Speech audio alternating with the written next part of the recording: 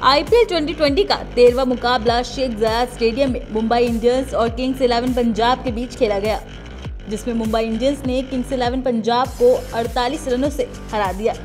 Toss हार कर पहले बल्लेबाजी करने उतरी मुंबई इंडियंस ने 20 ओवरों में एक सौ इक्यानवे रन बनाए। मुंबई की तरफ़ से रोहित शर्मा ने 45 गेंदों पर शानदार 70 रन बनाए। वहीं केरोन पोलार्ड ने भी 20 गेंदों पर धुआंधार, सैतालीस जबकि हार्दिक पांड्या ने मात्र 11 गेंदों पर 30 रनों की ज़बरदस्त पारी खेली।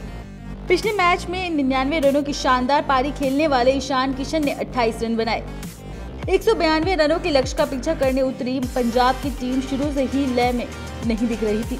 लोकेश राहुल और मयंक अग्रवाल ने टीम को एक गंभीर शुरुआत तो दी, लेकिन बाद के बल्लेबाजों के निराशजनक प्रदर्शन के कारण पंजाब की टीम 20 ओवरों में 8 विकेट के नुकसान पर एक रन ही बना सकी। पंजाब की तरफ़ से सर्वाधिक 44 रन निकोल पूरन ने बनाए।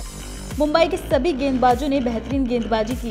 सबसे ज़्यादा प्रभावी जसप्रीत बुमराह ने किया। बुमराह ने चार ओवरों में 18 रन देकर दो विकेट चटकाए।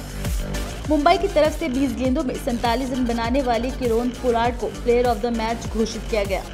आईपीएल का चौदवा मुकाबला आज चेन्नई सुपर किंग्स और सनराइजर्स हैदराबाद के बीच खेला जाएगा। आईपीएल से जुड़ी तमाम खबरों के लिए बने रहे नेशन लाइव आईपीटीवी के साथ विद कृतिका त्रिपाठी।